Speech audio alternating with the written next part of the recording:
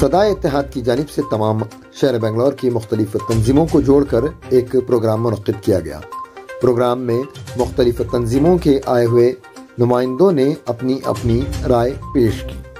सदा इतिहाद के मुजाहिद अली बाबा ने अपने बयान में बताया कि रियासत के मौजूदा हालात और दूर अंदेशी इस अंदाजे पर ये महफिल मुनद की गई है। तमाम तंजीमों को एकजुट होकर के एक साथ एक राय मशवरे पर काम करना चाहिए। रियासत और मुल्क की फलाह बहबूदी इसी में है। ख़ास तौर से इस वक्त मुसलमानों पर उठाए जाने वाले जुल्मों पर भी गौर करना चाहिए। साथ ही साथ बीबीएमपी और आने वाले एमएलए इलेक्शंस पर भी गौर व फ़िक्र करनी चाहिए। किस तरह अपने हकूक़ को मनवाने की कोशिश करनी चाहिए? मुख्तलिफ़ तंजीमों से आए हुए नुमाइंदों ने अपनी अपनी राय सामने रखी। मुजाहिद अली बाबा ने ये भी बताया कि किस तरह रियासत में अमन का माहौल बनाया जा सकता है। आने वाले इलेक्शंस में किस तरह मुसलमानों का रोल होना चाहिए? आइए कुछ मजीद तफसीलात जानते हैं।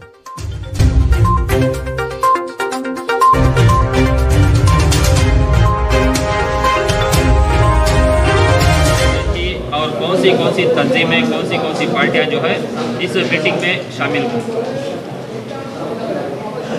इसके अंदर जो है M I M H D P I Indian Union Muslim League welfare Welfare Party of India इन सारों को हमने दावत दी थी, जो आयन वक्त के ऊपर ये सारे लोग जो है, खड़े हो जाते हैं इलेक्शन लड़ने के लिए। इससे जो है, मुसलमानों का ही नुकसान हुआ है अब तक, और आगे ऐसा ना हो, इसलिए सदा इतिहाद वालों ने इन सारे लोगों को दावत दी थी, और इनके साथ में जो हमारी मिली तंजीमें हैं, ये तंजीमें जो है, एक एक पार्टी की तायद में जब ऐलान करते हैं तो इससे भी कौम का बड़ा नुकसान होता है। जैसे कि एक जमात और एक पार्टी के लिए तायद कर देती है, एक और तंजीम और एक जमात की और सियासी पार्टी के लिए तायद कर देती है।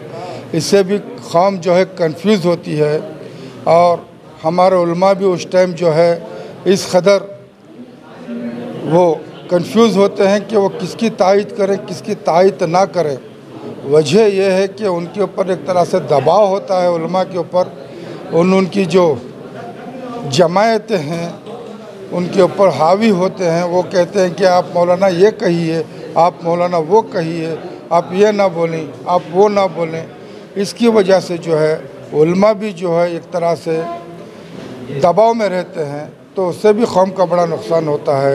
इन सारी बातों को नज़र रखते हुए तंजीमों को भी दावत दी और ये जो जमायतें, जो सियासी जमायतें दाखिल हुई हैं कर्नाटक में, इनको भी हमने दावत दी कि आइंदा आने वाले तमाम इंतबात चाहे बी बी एम पी हो, चाहे एम एल ए हो, चाहे एम पी हो, जो भी सियासी, जो मकसद के लिए, जो भी सियासत जो वक्त के ऊपर जो होते हैं, वोटिंग का मामला, इसमें अदल बदल ना हो और कौम बिखर ना जाएँ, इसके लिए क्या ला इल्म तैयार करें?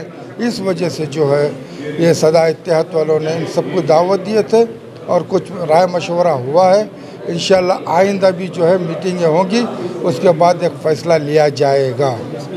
रहीम मेरा नाम सैयद दिलावर हुसैन, शिया जमात से हूँ, सदा इतिहाद में सरपरस्त की हैसियत से काम कर रहा हूँ। जी।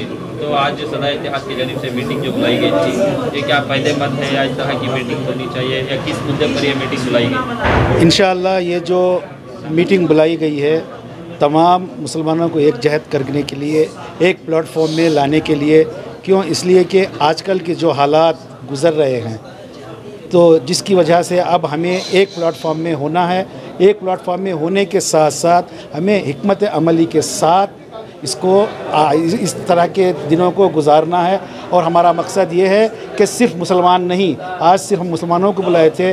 नेक्स्ट सदा इतिहाद का प्रोग्राम ये रहेगा इन कि हम जो है तमाम जो है अदियान के मजाहब के लोगों को बुलाएँगे और उनके साथ मीटिंग करेंगे। और इन एक ऐसी कमेटी भी बनेगी जिसमें तमाम अदियान के लोग रहेंगे ताकि हमारा मैसेज, हमारा पैगाम दुनिया तक पहुँचे, लोग तक पहुँचे आवाम तक पहुँचे। और उससे जो है इंसानियत का फ़ायदा हो इंसानियत के साथ साथ मुसलमानों का भी फ़ायदा हो।